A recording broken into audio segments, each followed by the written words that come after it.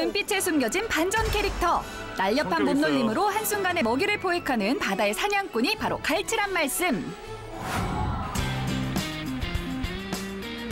꽁치를 미끼로 갈치가 있는 수심층이 어디 있는지 조금씩 올리면서 위치를 찾아가는데요. 수심 20m까지 낚싯줄을 서서히 내립니다. 숨죽여 기다리는 시간도 잠시. 드디어 가을 바다의 보물 갈치가 그 위용을 드러냅니다. 물 속에서부터 빛이 나네요. 한 번 잡히기 시작하니 제철은 제철 미끼를 넣는 족족 잡힙니다.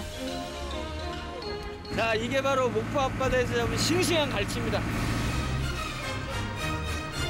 와, 이 몸 전체를 감싸는 빛에 눈이 부실 지경. 그 길쭉한 몸매가 끝을 모르게 이어집니다.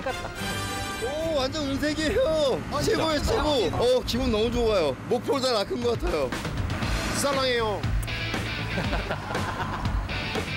잠깐의 방심도 국물. 어 왔어 왔어.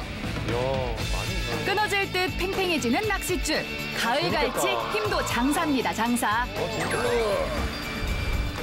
쉴 새 없이 올라오는 은빛 행렬. 반갑다, 갈치야. 갓 잡은 갈치는 바로 얼음통으로 직행. 이렇게 싱싱한데 물 속에 보관하지 않는 이유가 있나요? 갈치는 성질이 급해가지고 모래에 오르자마자 해가지고 죽어버려요. 막바로 해가지고 부패가 시작되기 때문에 신선도 유지를 위해서 해가지고 얼음에 빨리 해야 돼요. 아하, 그래서 우리가 여태까지 살아있는 갈치를 보기 어려웠던 거군요. 본 적 없어요.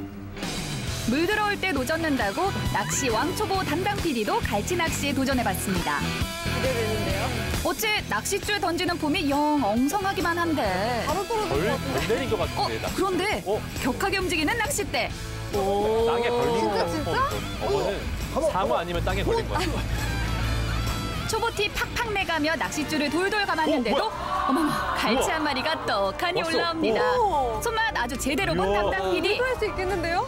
우와. 지금은 넣었다 하면 백발백중.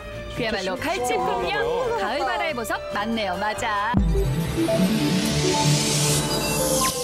KBS